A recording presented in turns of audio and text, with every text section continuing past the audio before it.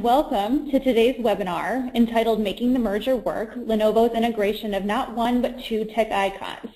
I'm Emily Sandilands, Content Marketing Manager at Denison Consulting, and before we begin today, I just want to give you a quick overview of the format we'll be using in today's session. We'll begin today's webinar by hearing from Brian Atkins, CEO at Denison Consulting, who will briefly discuss part one of our two-part M&A webinar series, and then take a closer look at the current M&A landscape. He will then turn things over to Kathy Hope, Director of Global Organizational Development at Lenovo, who will discuss how the company is navigating an M&A of not one but two tech icons. We'll spend the remainder of our time today, about 15 minutes, answering any questions from our audience. We'll do our best to get through as many questions as possible in the time allotted, so please use the questions box in the GoToWebinar widget to submit any questions you might have throughout the duration of today's session.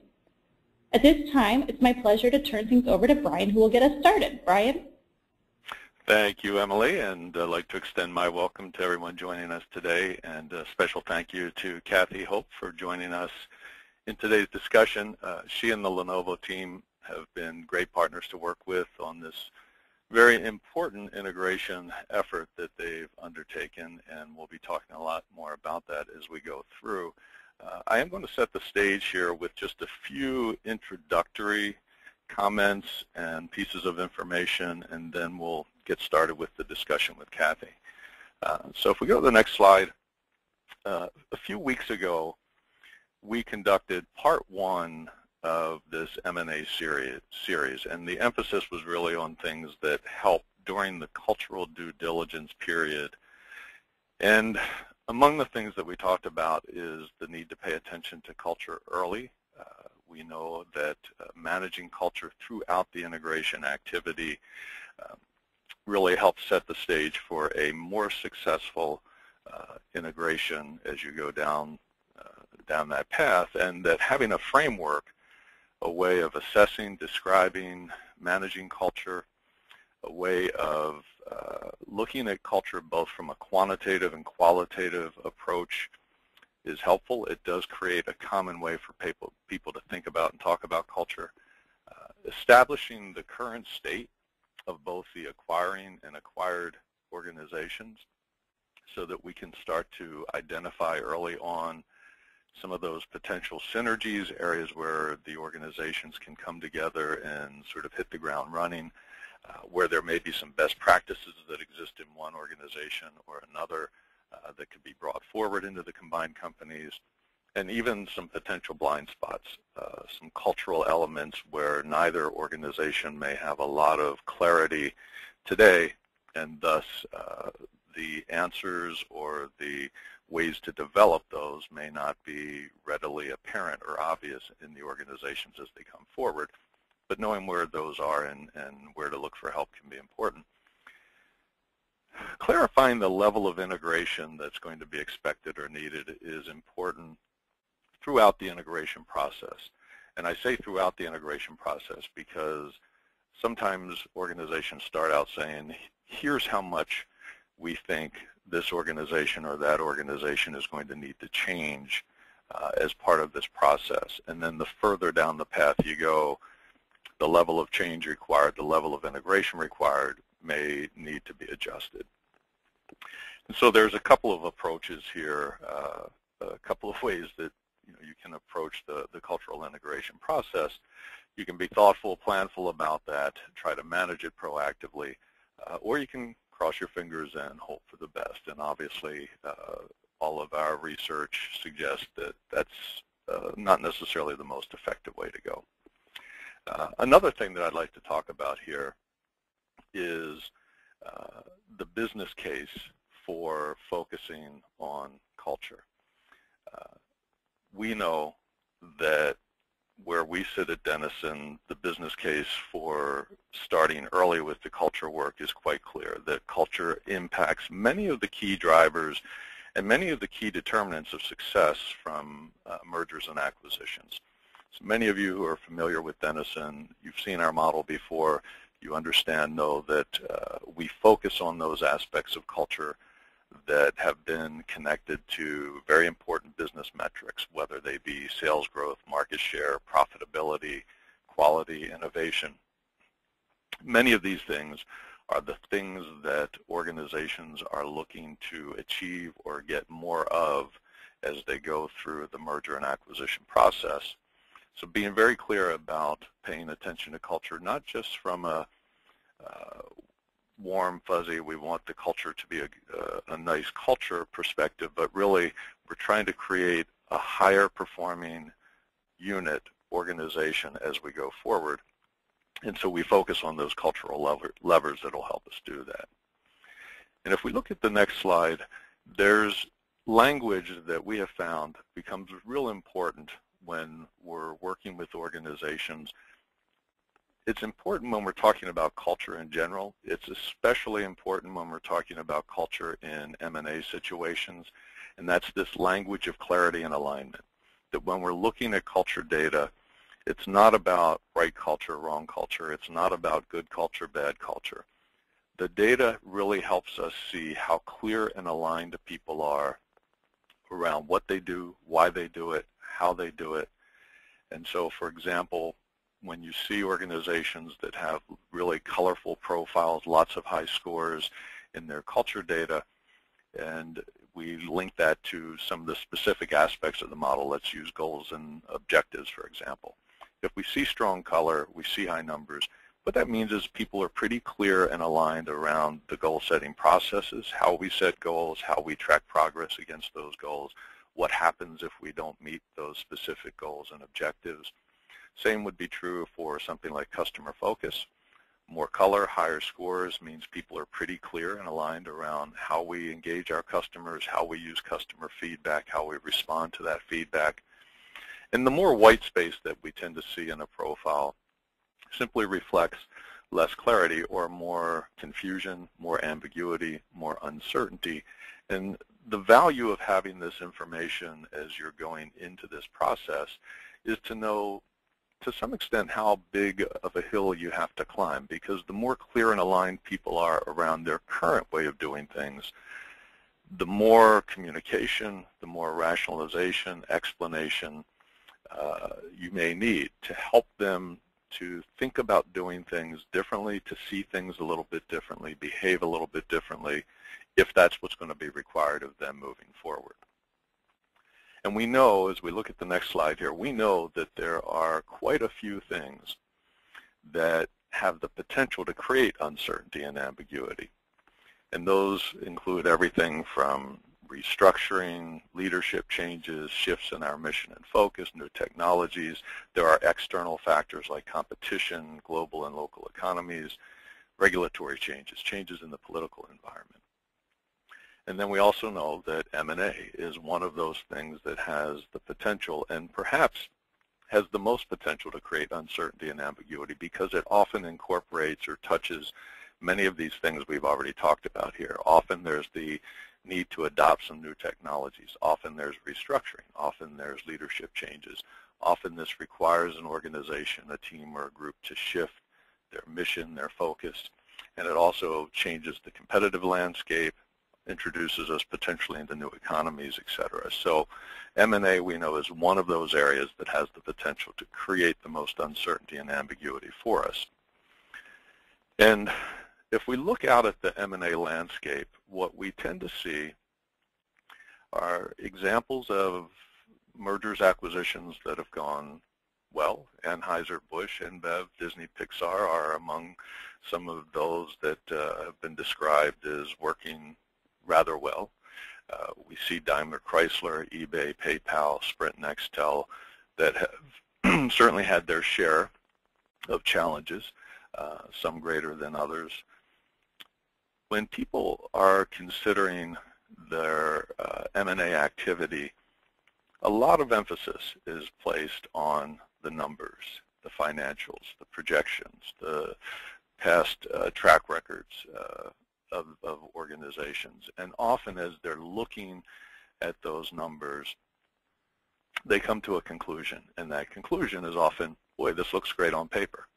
Uh, it's one of those phrases that uh, I know in our work, whenever we're working in the M&A space, makes me just a little bit nervous uh, because we often hear that, that if you look at these organizations and you think about what they would look like together, it often looks great on paper. And so it reminds me a little bit of uh, an author, someone that uh, those of us who I, I, guess are a bit older perhaps on the call here today, some of the young folks may be less familiar with. Uh, but there's uh, one of my favorite authors and scientists uh, growing up was a gentleman named Carl Sagan. And he was often uh, spoofed by people like Johnny Carson for his use of the phrase billions and billions. And I'll say a few more words about that in just a minute. But he also had a quote that I've used uh, and think is applicable here as well. And it goes like this. The more badly we want to believe it, the more skeptical we need to be. It involves a kind of courageous discipline. Now, for Carl Sagan, when he was talking about billions and billions, he was talking about stars, the galaxy. When he was talking about the more badly we want to believe something, he was talking about sort of the fundamental philosophy of science that we have to be skeptical and that the more we want to believe something, sometimes the more skeptical we need to be, and that requires us to be fairly courageous in our approach. And when we think about mergers and acquisitions, uh, there are often many millions, if not billions and billions of dollars at stake. Therefore, uh, important that we approach those with a level of skepticism and courage if we decide that it makes sense to move forward. And so speaking of courage, uh, let's talk a little bit and start to transition now to Lenovo. Uh, YY, and that's the name uh, letters that this gentleman uh, goes by, uh, the CEO of Lenovo, here's a quote from him, and it says, we are not afraid of changes. In fact, we love change. Our ability to absorb change is something unique about Lenovo's culture. So what I'd like to do is take you back to January 23rd uh, of this year. And speaking of billions and billions, Lenovo makes the announcement they're going to buy the IBM x86 server business uh, from IBM for $2.3 billion. A courageous move, uh, a bold move. Uh, these kinds of moves always are. And what was interesting is less than a week later, on January 29, 2014, Lenovo also announced that they were about to acquire the Motorola mobile phone business for $2.9 billion. So two pretty large uh, acquisitions announced within a week of each other, many billions of dollars at stake. And uh, the deals, both of those uh, acquisitions just closed in the month of October. So in some respects, the work that is going on today to try to bring these organizations together to create one larger Lenovo organization is still very much in the early stages. Uh, however, as we talked about in our webinar of a few weeks ago, uh, working on the integration, working on the cultural understanding early in the process uh, does help set the stage for future success. And that's a big part of what we wanted to be able to talk to you about today and have Kathy speak to you about today is this journey, a little bit about who Lenovo is and this journey that they've undertaken to try to bring these organizations together. And with that, Kathy, I'd like to turn it over to you. And once again, thank you for joining us for today's webinar. Thanks, everybody, and thanks again, Brian, for, for having, having me and having me in this discussion.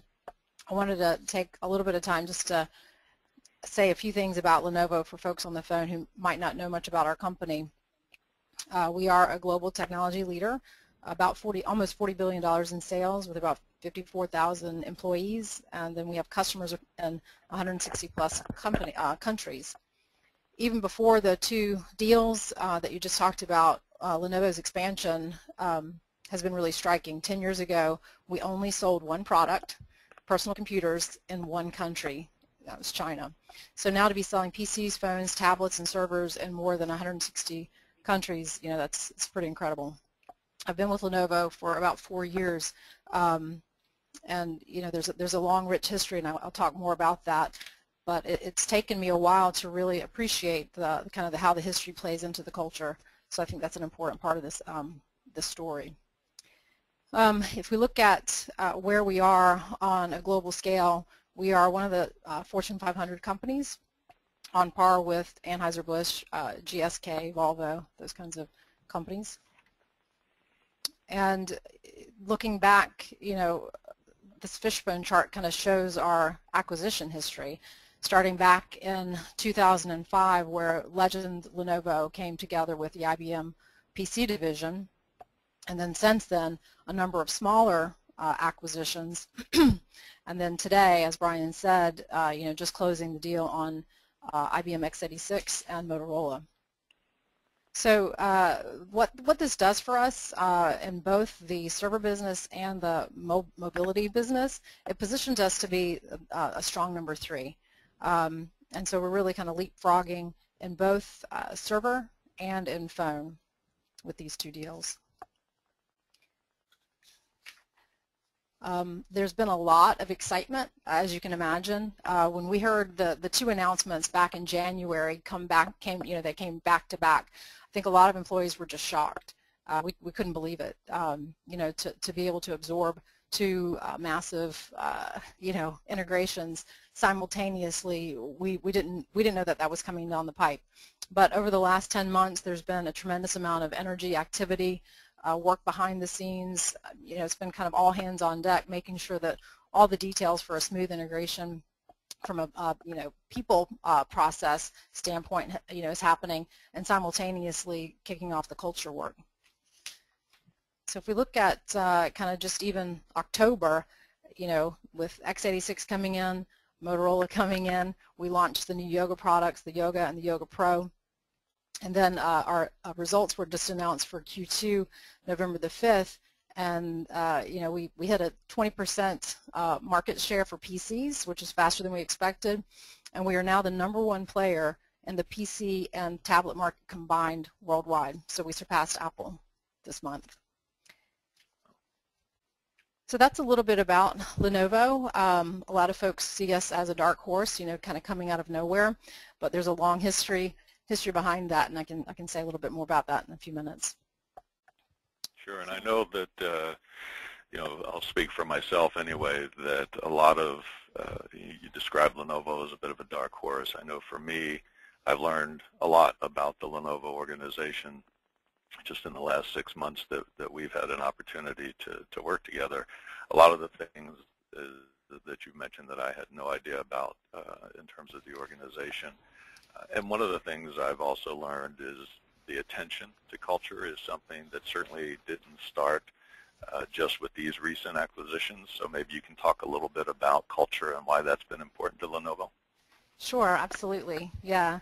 Um, and it is, you know, like I said, I've only been with the company for four years, and it is, it's striking. Very strong culture, and I kind of underestimated um, the impact of the culture probably for the first two years, but um, it was relentless. It wouldn't go away.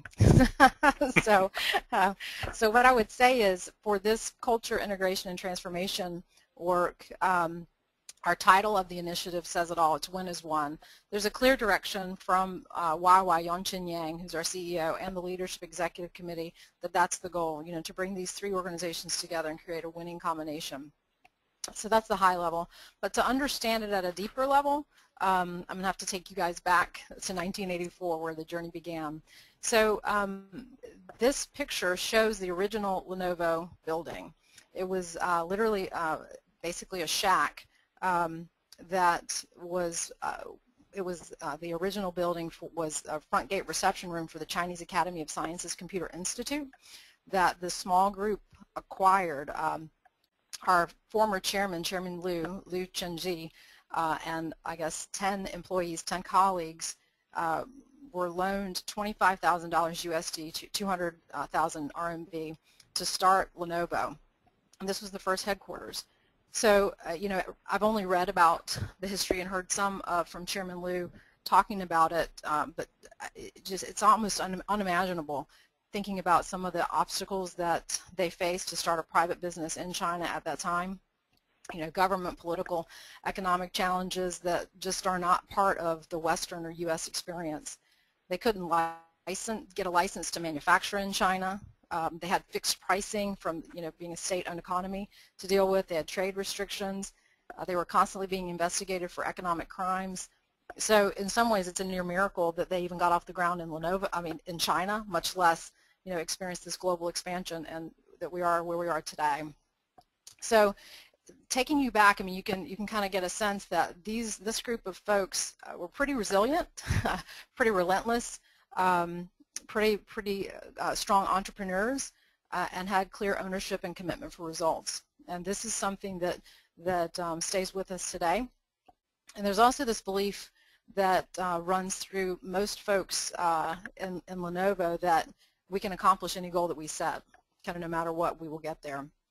One of my favorite quotes uh, came from a recent leader interview that uh, we partnered with Denison on, and it was, it is not just execution, it is relentless drive. You never get, ever give up. Being number one means nothing next month. So that gives a flavor for kind of the heart and soul of the company. Um, on paper, if you, you can see on your screen here, the Lenovo way.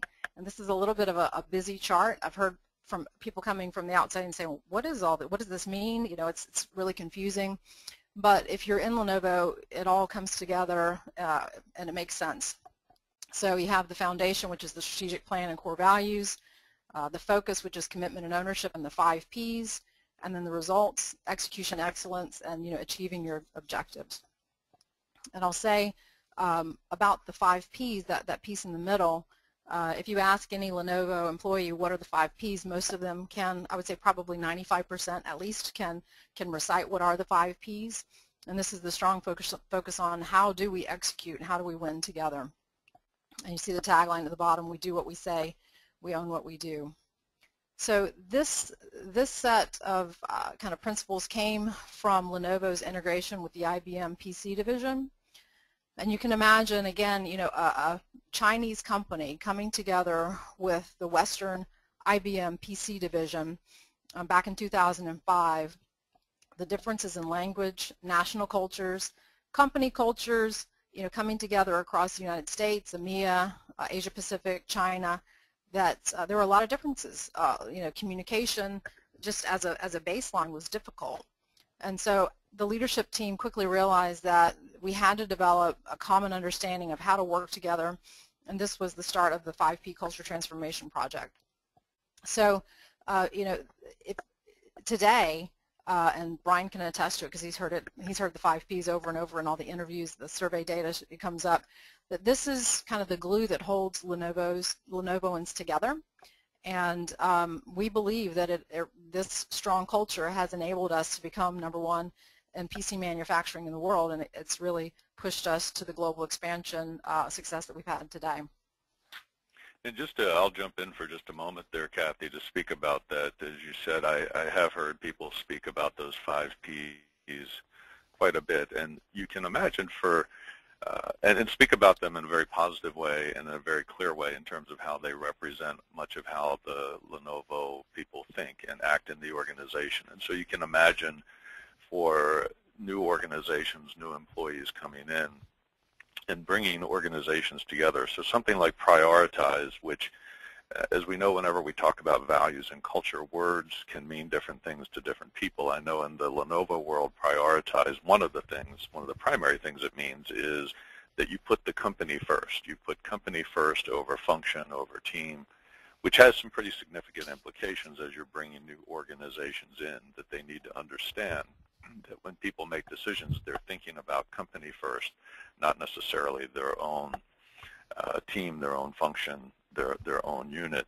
Uh, that's a good insight to have coming in. Uh, when we talk about planning before we pledge, uh, for an organization that maybe is used to, uh, I'll just say a, a stronger action orientation, not that the Lenovo folks are not action oriented by any means, but if the encouragement has been to act and then see what happens versus plan before you commit to action, that can also create some friction or at least different ways of thinking about things.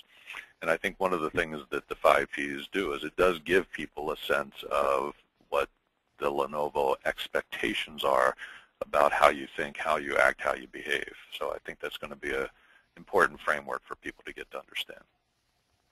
Yeah, that's right. It's funny you, you um, picked out the, the um, prioritize and plan. The one thing that I would say is that the, the plan before we pledge and the action, you know, that, that balance, it's a knife's edge between planning and execution because um, I would say that, you know, out of all companies that I've worked with or consulted for, um, Lenovo really is one of the most action-oriented companies. We are a do culture for those who do.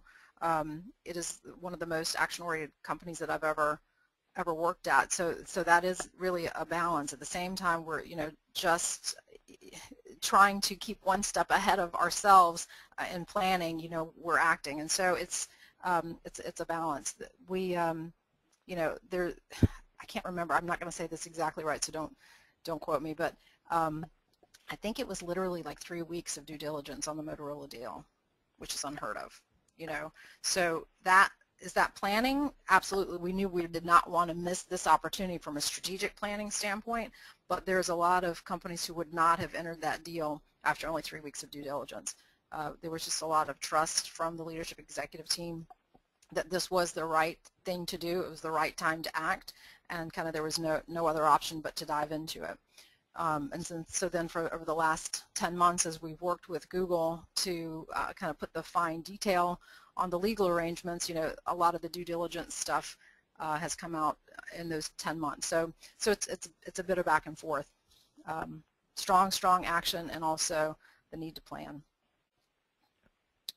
Um, so this, this kind of uh, encapsulates the Lenovo way. Um, we do what we say and we own what we do. Strong commitment and ownership culture. So that's kind of a long answer to your question, why culture, but I think, you know, the bottom line is we're lucky to have experienced leaders who understand that culture is a critical part of the business and it's what has made the teaming at Lenovo successful in the past and that we have to be intentional in bringing on new team members and shape the culture in order to be successful in the future. Yeah, and I know that um, the uh, the five Ps have been uh, talked about and helpful uh, and that piece about prioritizing, as I said earlier, uh, a lot of times people talk about that within Lenovo as prioritizing the company over sort of the greater good of the company versus function, team, uh, business unit. But also know that uh, part of the prioritization has been what do we need to focus on, what are some of the key things that we need to be paying attention to, and that we think are going to help us in these very early stages of the integration process. So I thought maybe you could talk a little bit about some of those key principles that are supporting the work that you're doing today. Yes, sure, absolutely. Um, and thinking about this, it really, again, comes from the, the, the top um, in terms of the, the, leadership from Yang and um, the Leadership Executive Committee. And the first is creating shared goals, getting crystal clear on what, what are the opportunities in, in front of us as a company, um, and, and, see, and seeing that as a unifying factor. So YY is known for articulating market opportunities and laying out the challenge for the team to go after. It has this belief that, you know, when you give a challenge to strong leaders, they'll figure out how to win. Um, you know, the job of YY and the executive committee is to, to really unleash the team's potential by setting that vision, modeling trust and integrity, taking away any barriers that can be removed, and then rewarding strong performance. So, you know, you put you put a red hot opportunity in front of our leaders and they're going to go after it. So that's one way to kind of get everybody, x86, Motorolans, Lenovoans kind of turned in the same direction. Um, I'd say the second thing uh, is inclusion. And if you look at uh, at the very top, our, our leadership team, it's incredibly diverse. You know, seven nationalities um, with the top team, and then with the top 100 execs representing 20 nationalities.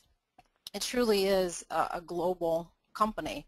Um, and so inclusion is not, it's not, uh, you know, kind of a trendy or, fuzzy human resource catchphrase. Um, this is kind of a hard learned lesson um, at Lenovo over the better part of the last decade as we've expanded globally you know, you've got to really take the time and have the um, have the clarity that understanding and respecting different points of view is really going to create a better business solution.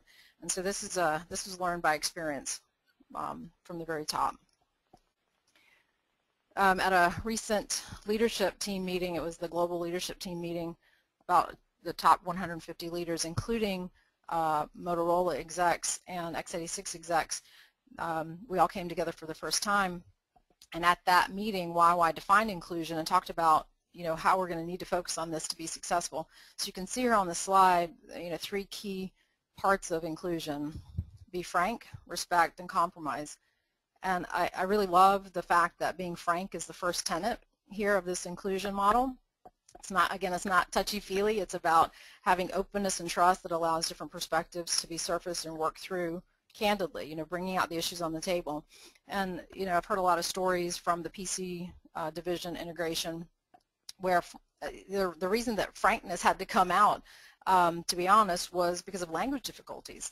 You know, you can, when you're speaking in your native language, there's a lot more room to be eloquent or to be um, nuanced or subtle but when it's not your first language, sometimes you just have to, to lay it out there and also get very comfortable with saying, I don't understand what you mean.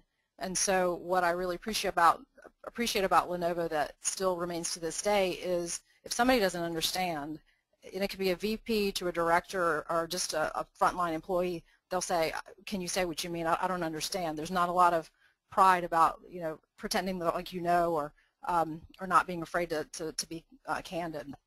So that's the first thing. I would say the second thing is respect, and it's, um, you know, again, you know, it's really the table stakes of building relationships, um, that demonstrating that you are listening, um, that you believe that that person has value to bring to the table um, is a critical part of that. And then I think anybody going through an M&A integration can really appreciate that compromise is a big key to success. There's a lot of opportunities for disagreements about what's right, the right way. Um, even if it's a choice between right and right, people have a lot of passion about the right way. And so one of uh, our jobs in HR, uh, as, an HR professional, I think is to to, to help leaders and, and make ourselves take a step back and evaluate, you know, is the conflict over this particular decision worth it? Uh, what's the goal? Where are we trying to get to? And are there other ways of getting there? Because, um, you know, in the heat of the moment, uh, you know, people people push further on ways of doing things. So this, I would say, uh, you know, these are the, the keys that, that we're work, the keys to success that we believe are important, the principles that we're working under um, for these for these deals.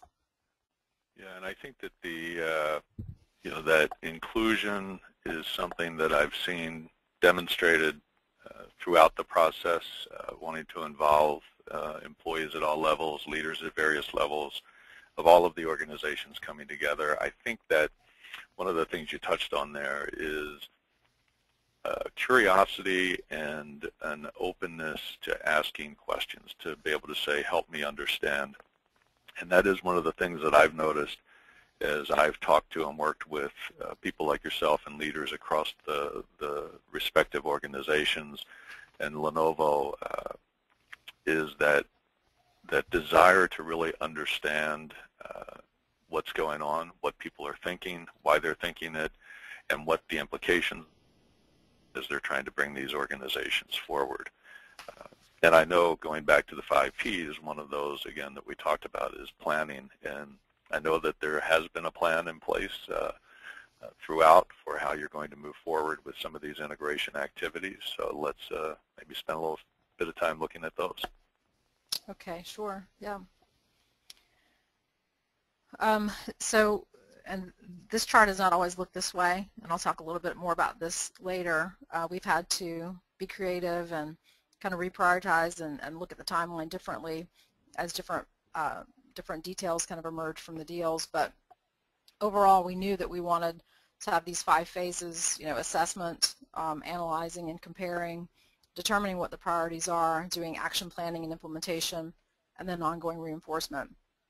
So this is a model that um, I think makes sense uh, to Lenovo, the way we think about things. It's a very data-driven organization, and so we knew that we wanted to partner with somebody like Denison to to get uh, some some real kind of fact-based information uh, coming in before before moving forward on on what's next.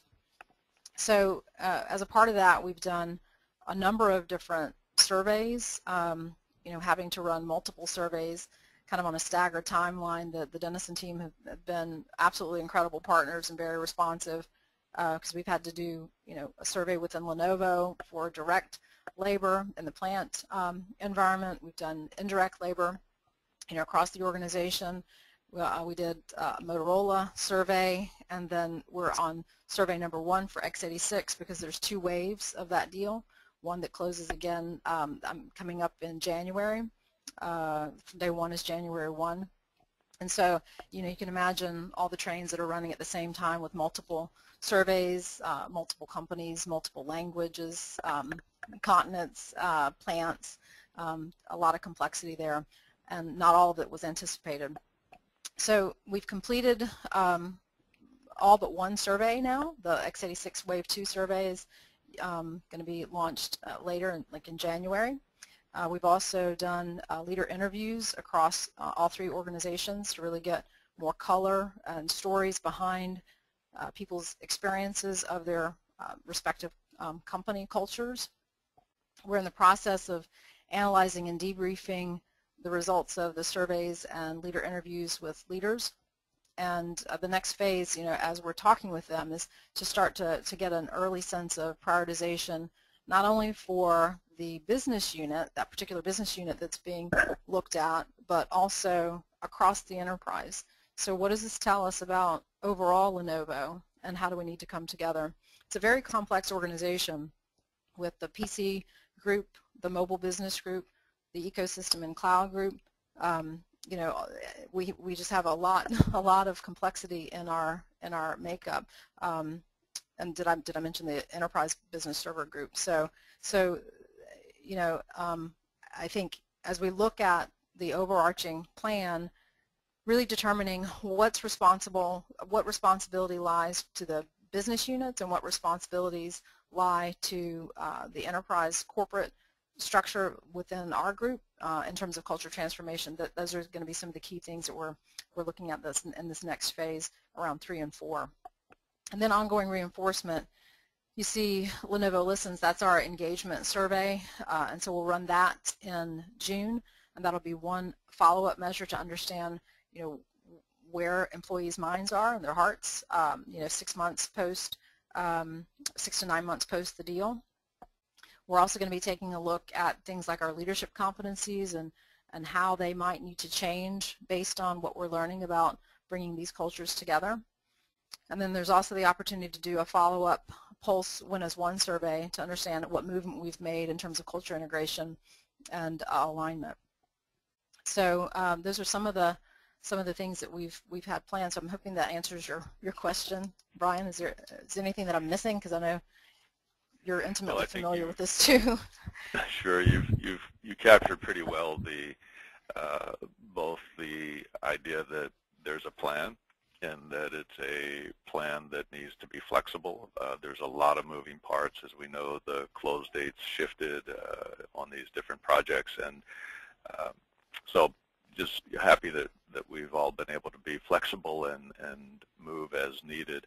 I do think one thing that I, I found really uh, uh, valuable and, and I think hopeful about this process was back in the early stages when we're just beginning to talk about assessment. Uh, as you mentioned, in addition to doing culture survey type work, we've done a lot of interviews with folks across the respective organizations. And I know one of the things that is also important to Lenovo as a company that I've learned is this notion of storytelling and being able to tell compelling stories about who you are as an organization and what's important to you as an organization. I felt one of the things that was really valuable was us going out.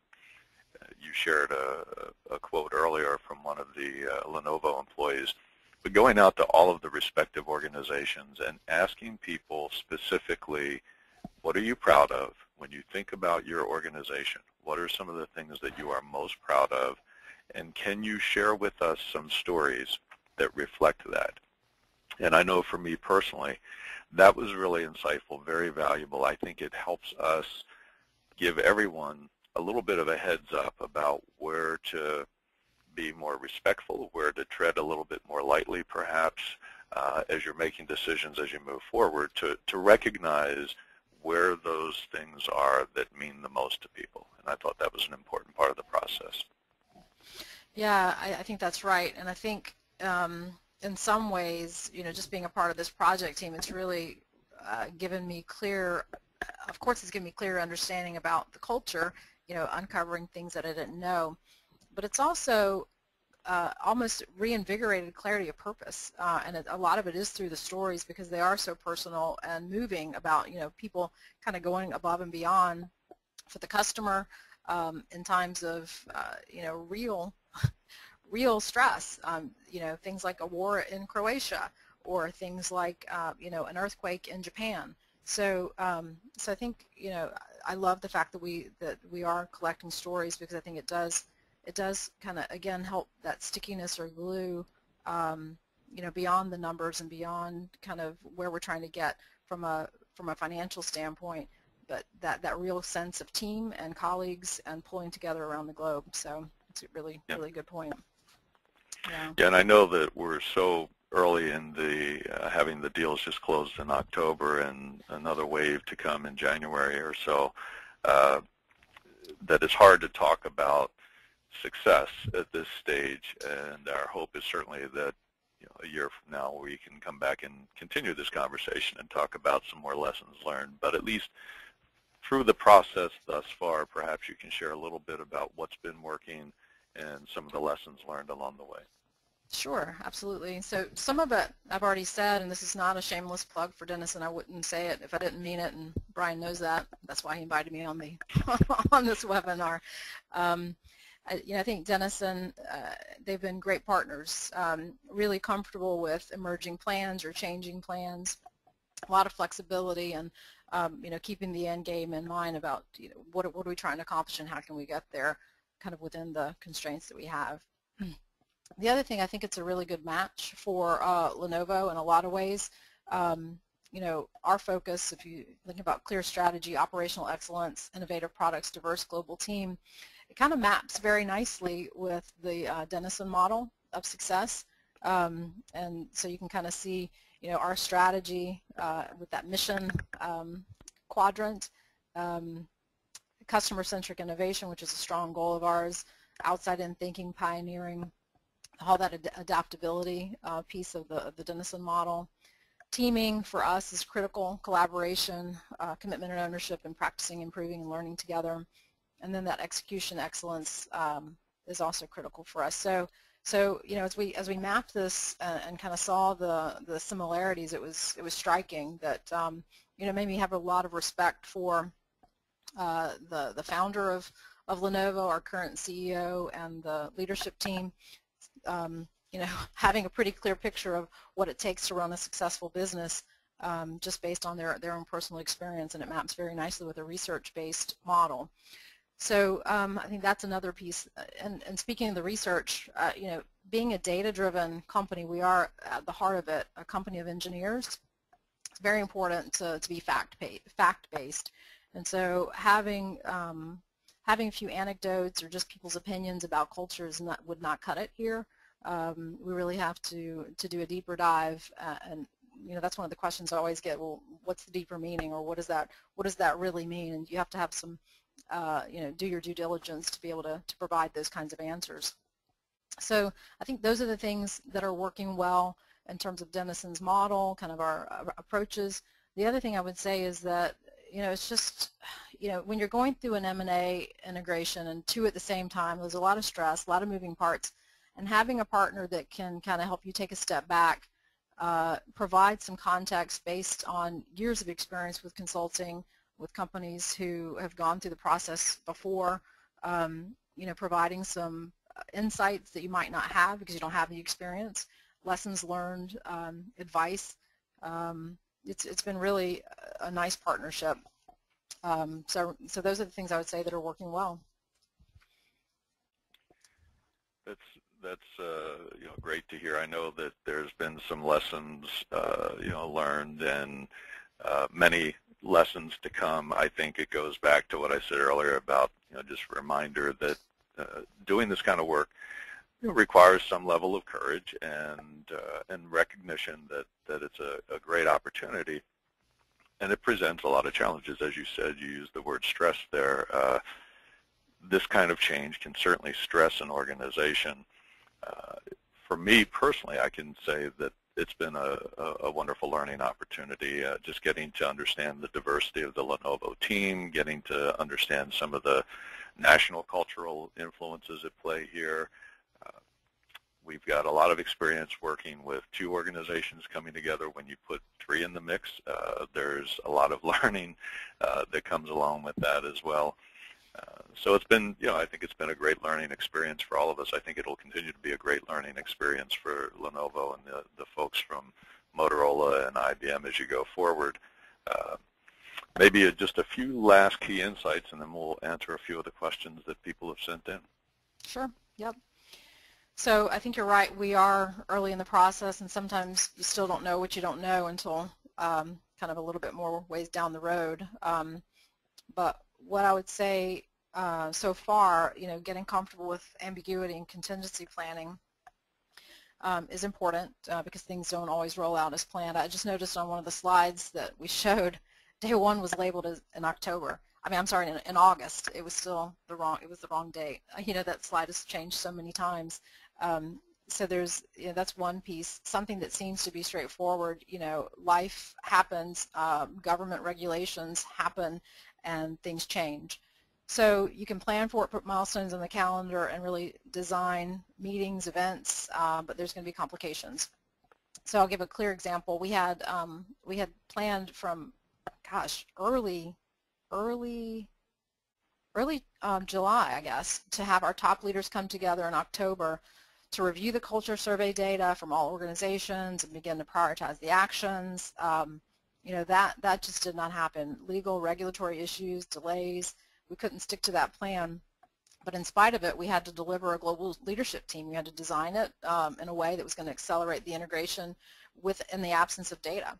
So we never lost sight of the overarching goal that the, you know a successful integration with inclusion, with clear clarity of goals is something that we needed to to address at the the global leadership team meeting.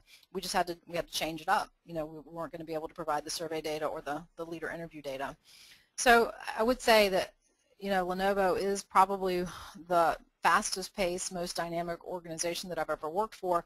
So this wasn't as big of a challenge uh, in some ways for our team. We're used to it. We're used to having driving towards an overarching goal, but then having the circumstances and details kind of emerge or go awry.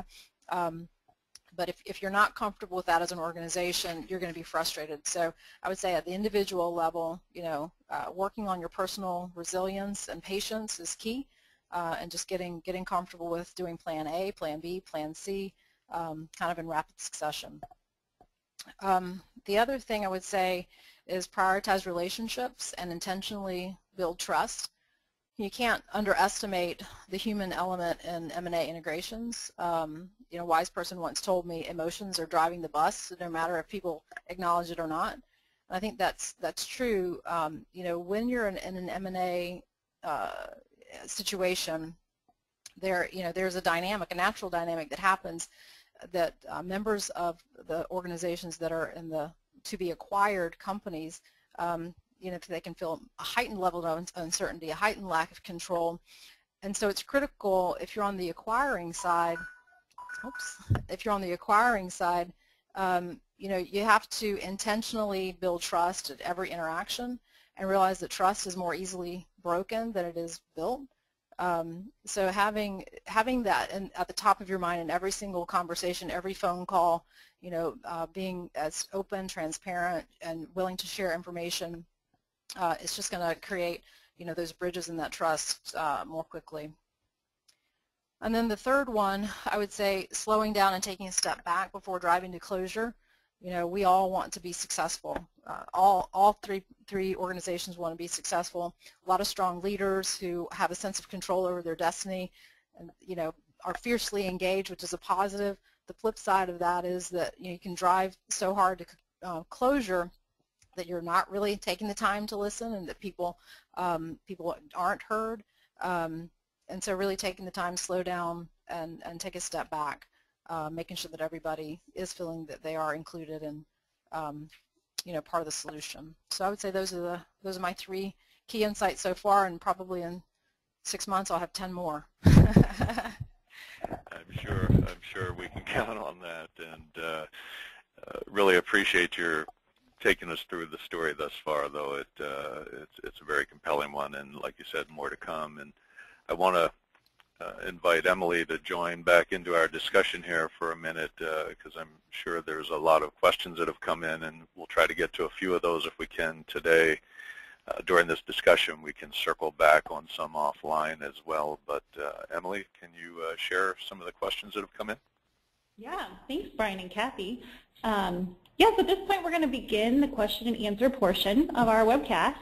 Um, like Brian said, we've, we've got a lot of great questions that have already come in. Um, if you have a question you'd like to submit and you haven't done so already, uh, use the questions control widget um, right in your GoToWebinar panel there. Um, let's get started. We're going to dive right in here. Um, the first question we're going to ask Kathy here comes from David. And Kathy, David wants to know, when did culture become part of the conversation? You know, at what point of the M&A process? Yeah. Um, I don't know if I could. I could probably try to look back at an email trail to see when when I was tasked with, you know, you're going to lead culture transformation and integration. But yeah, I would say uh, conversations started happening right after the deals closed. I'm sorry, right right after the deals were announced. If that was January, I would say we started talking about culture in February. It was it was right away. Okay, great. Great. So, Kathy, another question here from Barb. Barb wants to know, how would you describe the sponsorship and involvement of the leaders at the highest levels of the organization? Well, I think I think um, I hope it's come across just in, in the the presentation and, and the fact that um, the fact that we were tasked with thinking about culture, you know, in February, right after the deals were announced in January, it, it's very very strong, very high. We, we're we're lucky. I think I think that's you know, if you think about it from a change management perspective, you always hear that mantra or the mantra that, you know, if, if, if you don't have executive sponsorship, it's going to fail.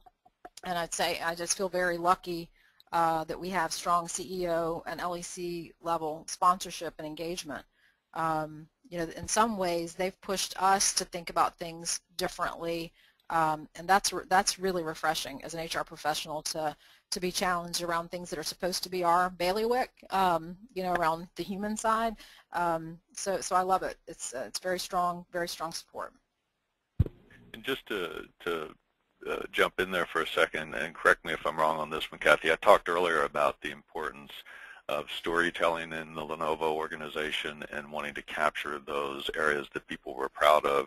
And as I recall, that was a specific request from YY, the CEO of the organization, to make sure that that was included as part of this process. Is that is that correct? Yeah, it was. Uh, it, if it wasn't YY, it was someone. Uh, it was someone on the LEC, but that definitely was a direction from our our, our, our top leadership that um, that this can't just be about uh, the business, the numbers, the people making it work on paper, but um, but let's really understand who who are each of us, um, kind of at a, at a deeper level, at our core, um, before before we before we dive in. So absolutely, yeah, it was it was about the stories, and that didn't come that didn't come from our team. That's right. Right. Good. Yeah, great. Thanks, Brian and Kathy. Um, another question here from John. I'm going to direct this to Kathy again, or Brian if you want to jump in. Um, what have been some pre-close touch points for example, meetings, website, conferences, all hands, etc., that uh, have been utilized to engage people in the process? I, can take a stab at that. So um, related to culture, there's been there's been a quite quite a bit of activity, and the, the two deals are a little bit different. So um, the IBM deal is an assets deal, and we do require uh, about 7,000 employees uh, in that deal, and, and onboarded them you know, uh, at least more than half of them already in the second wave coming, like I said. Uh, with, with Motorola, it's an equity deal. It's a little bit more complicated um, in terms of the structure and, and which employees are, are coming over when. Um, so we've done things a little bit differently, but I would say overall there's been employee roadshows, briefings, um, a new employee onboarding um, module, you know, number a number of different employee new employee onboarding sessions that have been held. Um, for example, in the U.S., we had uh, over 900 employees onboarded over the period of 2.5 days, um, face-to-face sessions. So, uh, you know, just a, a, massive amount of people coming through uh, through through this building that I'm sitting in. Another uh, close to 900 employees onboarded virtually over three WebEx sessions. We had it was kind of this uh, this process, 200 plus employees in each session, four-hour blocks of times where we covered Lenovo history, strategy for 2014 and beyond, culture, performance management, HR process, IT systems, tools. Um, so just a, a, massive amount of work by a, a, large extended team across the globe to make that happen. Um, yeah, so those are some of the some of the things that, that we've done. Yeah. Wonderful. Great.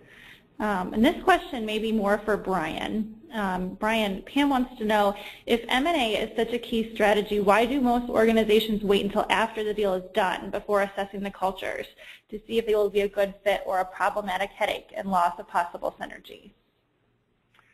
That's a question we often ask ourselves, uh, why they wait. But uh, but it is it, it is one of those things that I think is changing. I think if you uh, go back to our webinar of a few weeks ago, the impetus for doing that really was because of the uh, shift that we're seeing in organizations wanting to reach out sooner uh, to do some, I'll say, more robust cultural due diligence uh, in the time leading up to the close of a deal.